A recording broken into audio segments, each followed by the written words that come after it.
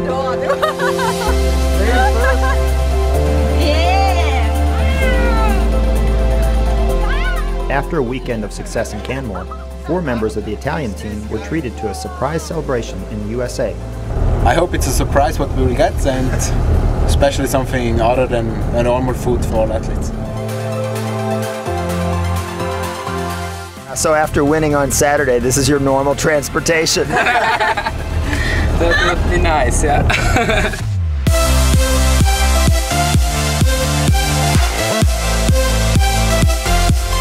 so how was the trip from Canmore? Did you realize it was 4,300 kilometers from Calgary to here? 4,000? Yeah. Okay, that's long. it's also not the whole coast to coast. From the west coast to the east coast. True? Yeah. Ah, okay. I never know. From the west coast to the east coast.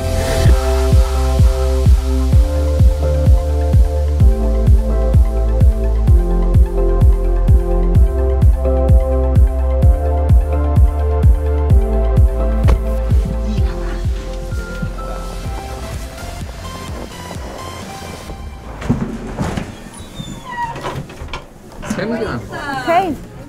Yes, hi. Hello. So Jessica is going to be your cocktail waitress tonight, and that's Tia. So we have a table set up for you.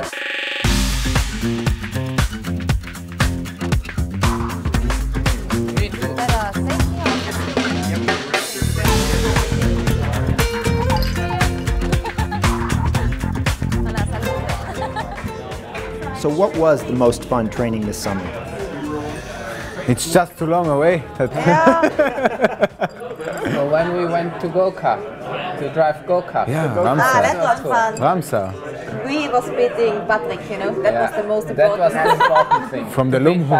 Because he is a really bad driver, but he didn't know it, did. or he don't want to know it. That is the But problem. he was the only who was hurt by the end of Yeah. our cook. He crashed with the cook. The mixed relay. So now you have this Olympic medal. Is that almost like a burden that you have around all the time? Because now everyone expects you to be pretty good when you start the mixed relay. That's a problem sometimes. ah, it's sometimes it's really strange because it's much more pressure, you know. It's not that uh, everybody wants now something, and if you make maybe fourth or fifth, it's not any, any more good, you know. But they, some people don't realize that we are in the top of the world, you know, the World Cup. So Do you feel like you're under a lot of pressure going into the World Championships this year? Yes and no, but um, otherwise we can't do nothing. We tr- for sure we are trying to make to, to be in good shape there. We make a training camp before Oslo, and then we will see how in which shape we are. Do you put more pressure on yourself than other people do? You are always expecting more and more, and you are not anymore happy with a fifth place or tenth place, you know.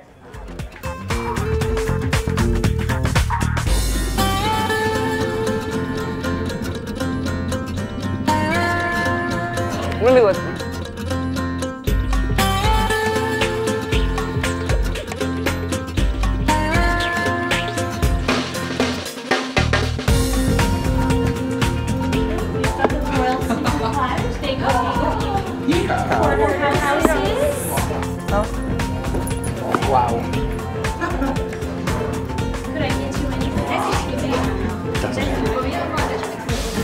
That's good.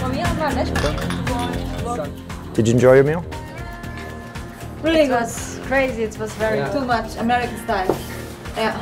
I have never been so full. I can't, you know, I, it's very difficult to breathe now. It's like, Now we have the energy for the weekend.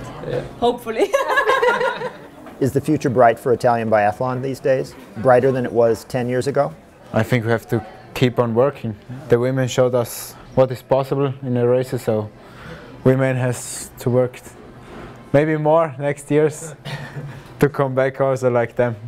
The level is growing up every year, so I think if you stop working, you will not increase anymore your own level, so it's impossible to do nothing. trainers you need always, for example. That's I think that that's one of the most important things that are, that they will help you to to re- to come back from mistakes, from falls, or I don't know everything which is going on the wrong side.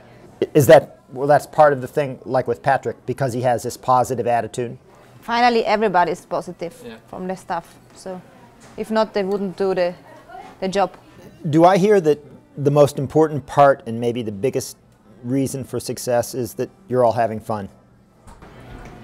That's for sure. You can fix it uh, more times. You can fix more hours, maybe when you are you enjoy every moment. So I think that's the key for for good results and to be to be always there with more energy than normal one.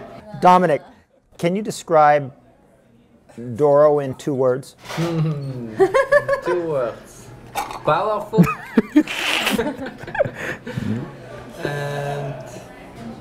and Only good things, okay? I- I have a thing. No, I can't say. it. Say it. I can't say it in front of the camera. Why?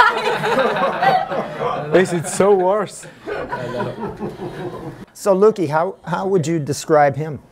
Dominik, uh, focused and he has his own way to to come to, to solution. Uh, he's individual and focused. How about Karin? How would you describe your teammate there? Secret. Now uh, she's uh, make a lot of uh, things. She's concentrated and uh, not only biathlon but uh, all the life she uh, Sokkinginis Enjoy. enjoy And crazy. and crazy. Yes. I, I found my second word. So, you can throw that back at Karin. I think um, she's focused, really focused, and also calm, calm person. I think.